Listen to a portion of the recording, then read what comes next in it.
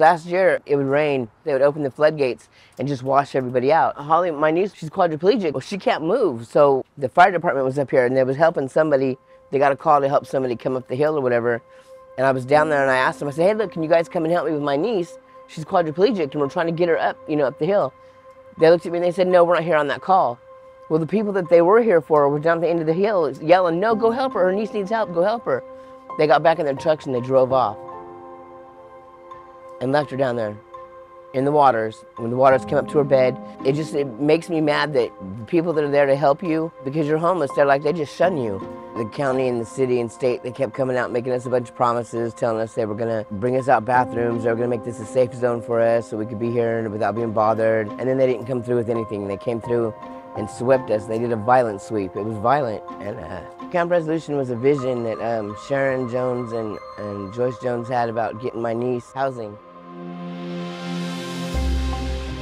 Camp Resolution, currently we have been supplied with 34 trailers from the city. They had put them in storage for two years. They were to provide uh, safety and shelter for those experiencing homelessness during the pandemic, but again, we're, we're put into storage. Five weeks ago, this was tents all over, cars parked everywhere, um, and just people holding ground. We've been here for 251 days, and in that process, we have combated a major sweep that they were trying to do here, and then we ultimately, with legal representation, were able to gain a lease here. Camp Resolution is, in many respects, an unprecedented accomplishment on the part of the homeless, the organized homeless, including our homeless union. It is the first and, to our understanding, the only instance anywhere in the United States where an encampment has been officially recognized by the local political administration. Camp Resolution is a self-governed, self-managed community of homeless people. Everybody keeps asking why it's so special.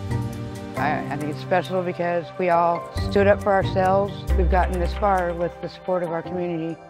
And they had determined that they were through being chased from one part of town to the other, being swept from one street corner to the other, being shoved into and then out of one shelter after the other, one slum hotel room, one after the other. They're being swept everywhere. This is the only place in Sacramento that's not being swept. But we're still protesting, even though we've got this far, we've accomplished this much. We're still protesting for others that are not as fortunate as us. They're doing about four sweeps a day, massive sweeps, and they're taking people's RVs from families due to expired registration that have children in them and placing them into a tent. This is what we call a state-created danger. They're making the situation more harmful for these individuals. They're just taking their belongings and taking them to the dumpster. It, it's horrific what's happening here. You know, like if, if you had your house and, and somebody came in and robbed you, you feel like somebody invaded your space. That's how, that's how we feel. That's how homeless people feel. And they finally came here because this location had originally been designated by the city of Sacramento as a uh, part of what they call the master siting plan, where they were going to set up certain uh, sanctioned areas where mobile home or trailers and cars and in some cases tents could be established. The fact of the matter is that we think we've established uh, uh, uh something uh, of great value and hopefully will be a model as we go forward in, in, struggle and in reaching some kind of agreement with these cities and counties such that we can get away from this constant guerrilla war and get to the business of actually providing housing. California Constitution says that uh, we have an inalienable right to life, liberty, pursuit of happiness, and safety, okay? And, and that Constitution says not just that to pursue safety, but to obtain safety. And our understanding, our legal interpretation is that those, therefore, are rights and that the government has an affirmative obligation because you can't be safe if you're homeless. You can't be safe if you're on the street. You know, I know I have somewhere I'm safe at. I don't have to be driving around and parking everywhere and, and hoping that cops don't come or hoping nobody else comes and messes with me or it gave me a reason to fight for being indoors. Come here, it gave me myself a little bit of my self-esteem back. But What has made me feel better is number one, I feel safe. I feel comfortable. My husband works, so when he works, he could be comfortable leaving me here by myself, you know, at my motorhome or around in the camp. Most definitely, it's, I feel safer. You know, that was one of the main reasons why I was asked to come was because I was, it was just me and my dog and staying in my car under the bridge. My mom was homeless. My grandmother's homeless. What does it feel like? I don't live like, you know, someone a bum or, you know, I, I work. It's also traumatizing too in the same time, you know. Things that, you know, dealing with the elements every all day, every day, trying to do something positive with yourself in the same time, it, it gets hard. But for me, it's all I really ever know. It's hard. Um, I work, I work a lot. It's, it's just hard. I didn't ask to be homeless. I'm sorry. I had a place to live and I had three jobs and I gave up my jobs and my place to live to go take care of my mom who was sick. I quit everything to go take care of her before she died. Then when she did pass, my brother got everything and I got kicked out. And here I am. This is my home now.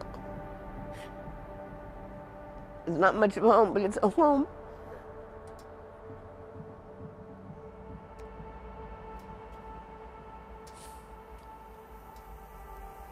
Our hope is that we can get a matrix here and that this will stay sustaining as a trailer park and that we can continue to transition people in and transition people out because this is the only space where services can come, know where the people are, and that is guaranteed housing. We're tired of just filtering through this system that recycles people in and out of these shelters.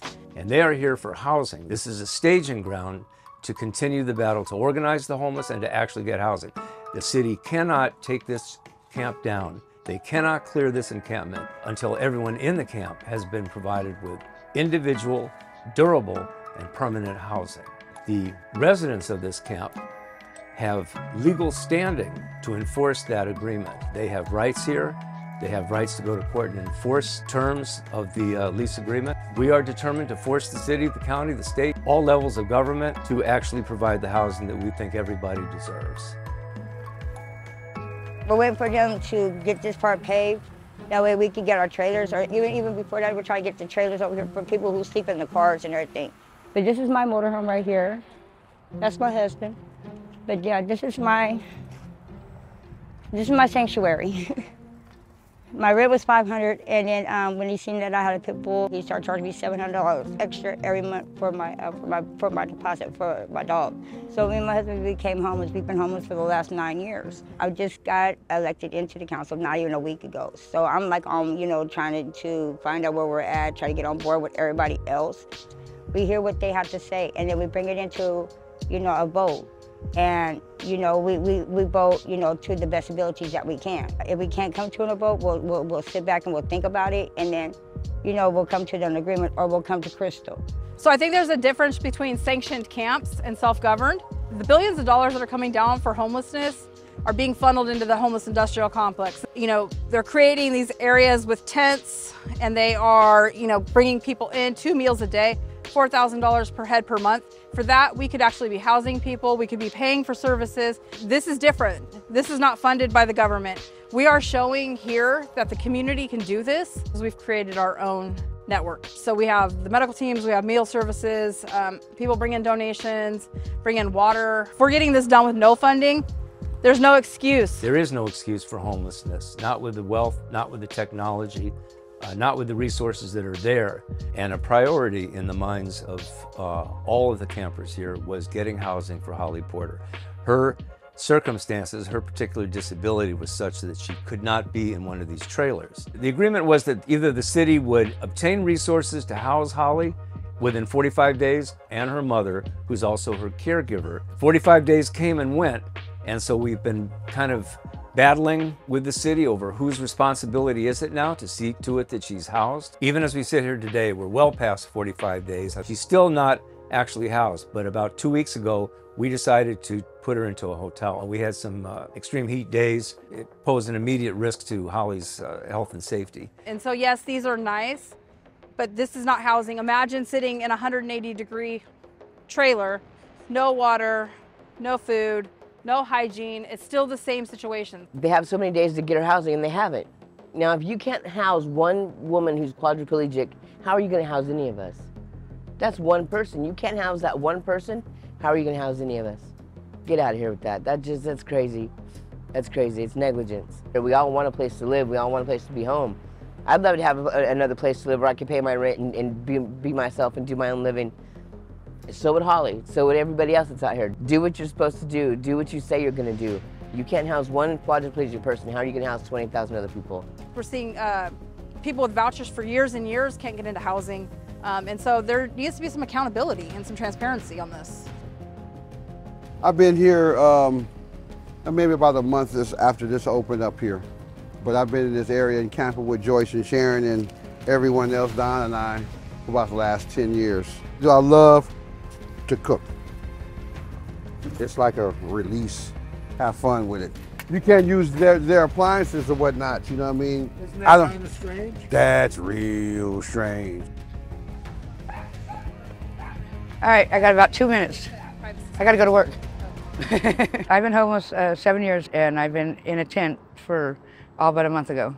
They gave us these nice little boxes, but we can't use anything in them, and so it was kind of easier in a tent. We have microwave, we have air conditioners, we have a TV, um, refrigerator, showers and bathrooms are in here. We can't use those though, we're told not to. These are all things that unhoused folks need and want, but you give us this with no power. And so it doesn't do us a lot of good. We're here trying to protest not only for the unhoused folks, but for our environment. So our goal is to get the second trailer, continue to run fans and power, which is all we can run off these trailers. We can't actually run a trailer off the solar things. And our hope is to embarrass Sacramento, again, the capital of the fourth largest economy in the world. They can't even provide basic infrastructure, water, power. They're leaving it to unhoused folks to figure out. We can get out of this situation. We have smart people here that have ideas that can work for us. I want to say thank you to Sharon and Joyce, um, Crystal, all the other people that has helped us be safe here. Um, Anthony, our attorney, thank you. Um, without y'all, we wouldn't be here. We wouldn't have what we have. You know, and I mean, if anybody else ever said that, I want to say thank you. Camp Resolution makes it easier because it gives me some sort of sense of peace because I know that I'm doing all that I can to make my situation better. It didn't look like this when we first started this, you know, people were intense. It gives me hope that, you know, maybe that with a little bit of dedication and a little bit of support, you'd be amazed what people could do. We're not all criminals, drug addicts, and all that stuff. Like, you gotta judge people by the mind and heart, not by what you think you know about them. I think that if people would like to know about Camp Resolution, all you gotta do is come down here, come hang out with us. I can guarantee that you'll wanna come back and hang out with us again. I haven't really met anyone who hasn't. Camp Resolution shows us that we can do this as a community, that we can do this as unhoused people without spending millions and millions of dollars.